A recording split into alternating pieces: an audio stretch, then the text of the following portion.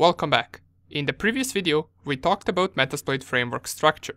We explained all of the modules and what they are for, but we haven't really ran the framework itself. In this video, we're going to run it and cover some of the basic commands for it.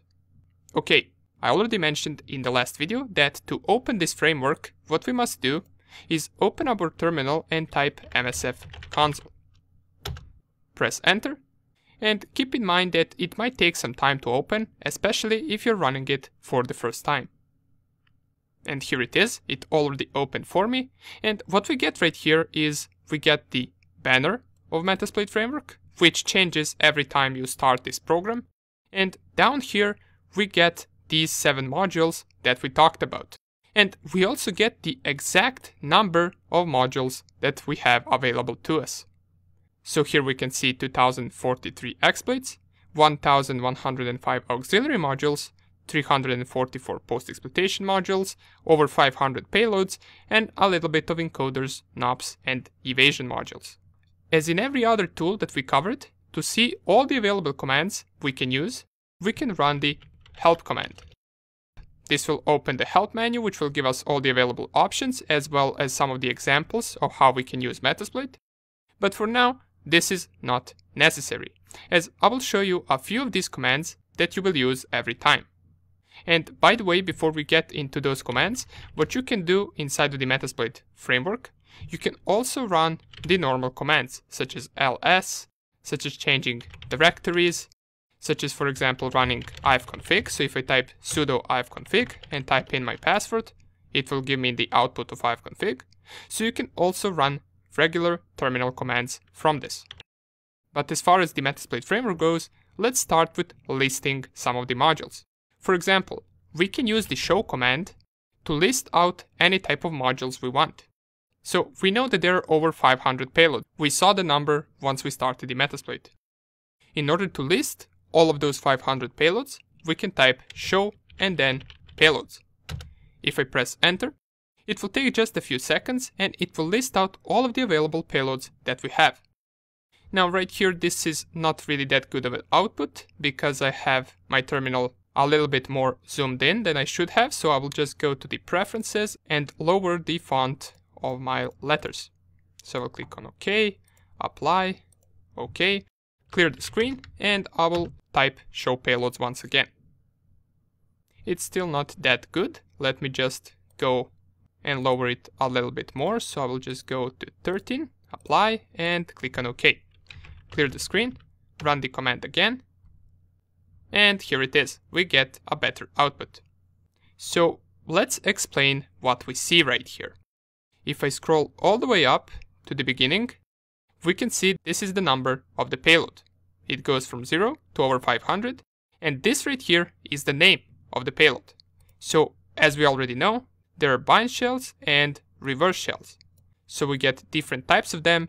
We can see the payloads for Android, the payloads for Apple iOS. We can see all types of payloads, command shells. We can see Java payloads, Linux payloads, if I go all the way down, OSX payloads, PHP payloads, Python, Ruby, and bunch of others as well. Here's also Windows payloads. So we get a lot of them. Under the rank, they're all manual because they have to get executed on the target machine. And in the description, we can see for what this payload is. For example, if we check out this one, Apple Meterpreter Reverse HTTP, this is the Apple iOS Meterpreter shell or Reverse HTTP inline. So this means you would use this payload if you were, for example, attacking an Apple device. Now, we can do the same thing with exploits. If we want to list all of the 2000 exploits, we can type show exploits. And this might take a little bit longer because there is a lot more exploits than there is payloads. And here they are. Here are all 2041 exploits. You can see the output is pretty much the same as with the payloads. We get the number right here, we get the exploit name, and these exploit names are really well written. As we can see, the first part tells us for what is this exploit. Currently we are inside the Windows exploits. And if we scroll all the way up, we should see some other exploits as well. Let's go and scroll all the way up. Well, it seems that we can only go up to here because there is a lot of them. But nonetheless, we can see for what the exploits are. For example, this one is for Windows and for browser. And here it specifies exactly what does it exploit. If I go down here and for example check out these ones, here we can see this is also Windows exploit for the FTP. So they're very well organized and this is the structure that we saw in the previous video. Just this is how the Metasploit framework outputs it for us. These exploits that belong to Windows FTP are all located inside of the FTP directory of the Windows exploits directory. If I go all the way down, and what we can do right here is we can choose one of these exploits, just to see how we can select them and run them. Of course, we are not going to be attacking any target, we just want to see how we can select one of these exploits. So let's go with this one. For example, Windows SMB MS06 040 Net API. And by the way, to check out more information about exploits, we can go on to the right. So this exploit came out in 2006. And in the right column, right here, it tells us what exactly does this exploit do. So for this particular one, we get that it is an exploit for Microsoft Server Service and it overflows this function. Now, the good part about this is that you don't really need to know how these work in order to be able to run them. Let me show you. If you copy this exploit name right here, so copy Windows SMB MS06040 net API, in order to select it, let us clear the screen, we can type the command use. And you type use and then the module name that you want to use. In our case, we want to use an exploit and after it, all we have to do is paste the exploit name.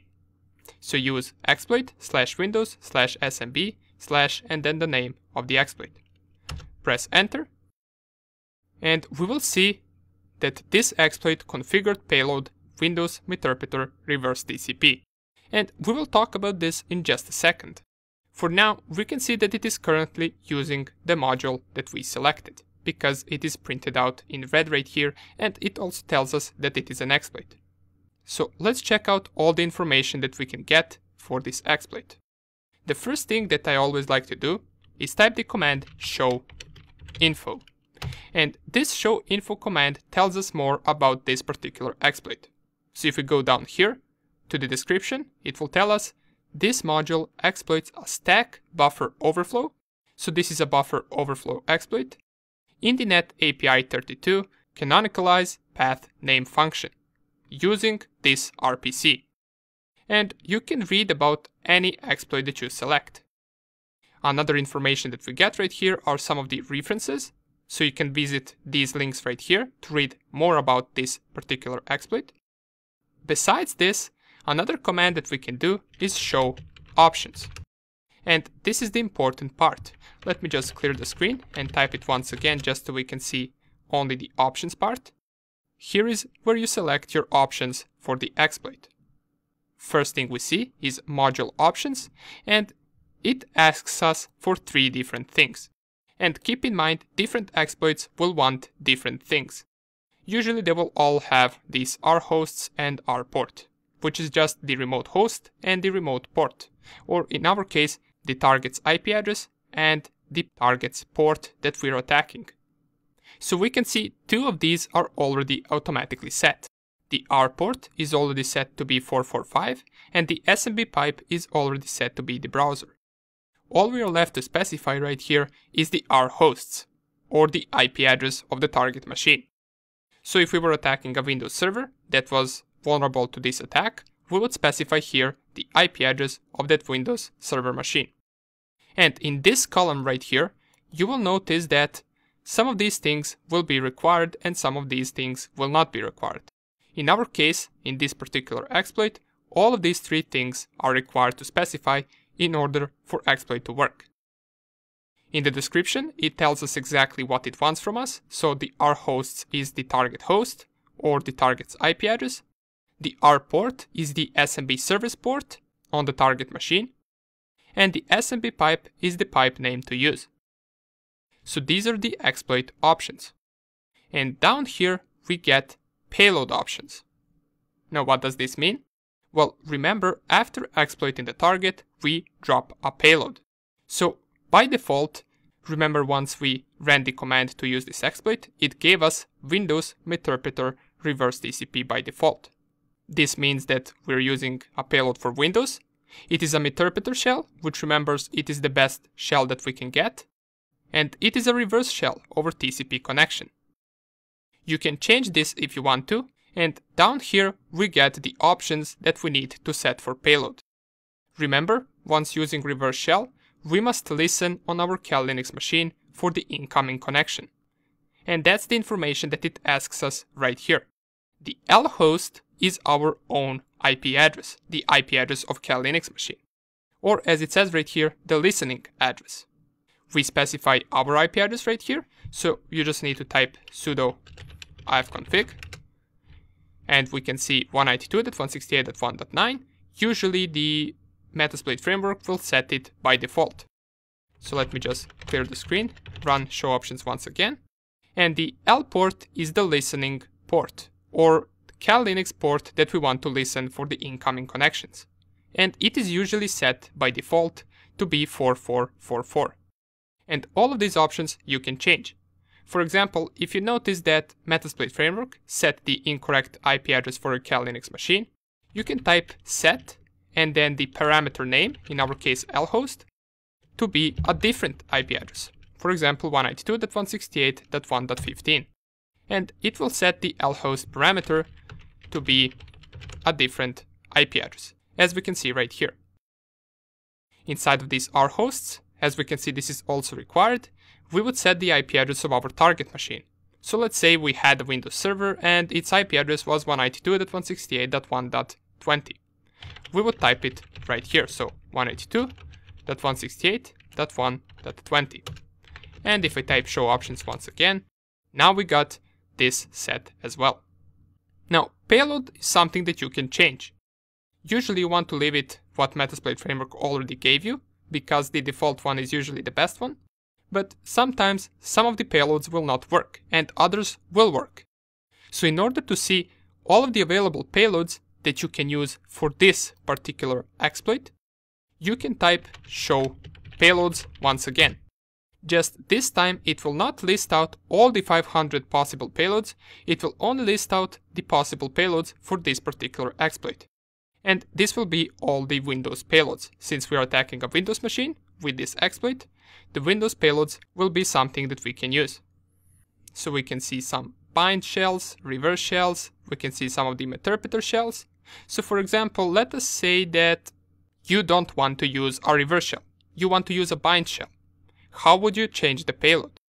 Well, you would copy the bind shell. Let's say we want to use the interpreter bind shell. So copy its name. And go all the way down and type set payload and then paste the payload name. So paste selection, press enter and it will tell us the payload has been changed. If I clear the screen, show options, we will see different payload. We no longer have the Meterpreter reverse TCP, we now have the bind TCP Meterpreter. And it will also ask us for different information about the payload we no longer get the L host, since remember with bind TCP, it is not our Kali Linux machine that is listening for the connection, it is the target machine that is listening for the connection and we are the ones that connect to it. So in this case, it is asking us for our host, or the remote host, or as the description says, the target IP address. So we would select right here the same IP address that we select right here, because it is the target that has to open the port, and the local port will be the local port on the target machine that will open for us to connect to. And you would select here whatever you want. So what is important to get out all of this is that we can change different options using set command. So you just type set and then for example we want to change the L port. We type L port and then make it whatever we want. And if we type show options, it will be changed right here. And the last part that we see down here are the targets. And these targets right here are all of the vulnerable targets for this particular exploit. To list all of them out, we can type show and then targets. This will give us a list of all the targets that we can exploit using this attack. So we get Windows NT, Windows XP, and now different versions of Windows XP and Windows 2003. So this is an older exploit that attacks Windows XP machines. Now you can either, if you know exactly which version of Windows is the target running, you can select it right here by specifying set target and then the number. For example, let's say the target is using Windows XP SP1 English. You could type it like this, so set target 3 because the ID for that particular version is 3. Or if you didn't know exactly which version, you would just leave it on automatic, which means that Metasploit framework will figure it out on its own, so we don't need to specify it. The only important thing is that it is one of these versions. If it is for example a Windows 7 machine, this exploit will not work. And once you set all of these options, the last thing you need to do is type exploit. In our case, this will not work because we don't really have a vulnerable Windows XP machine, so it will give us an exploit failed error. In this case it is unreachable because this IP address right here on my local network is not even online. That's why this will not work. And this is pretty much it. Now, there are other commands as well that could be useful, but these are the main ones that we always use to choose exploits and payloads and to set their options. Finally, the time has come. In the next video, we're going to apply what we learned for now to perform our first exploit on the Metasploitable machine. See you in the next video.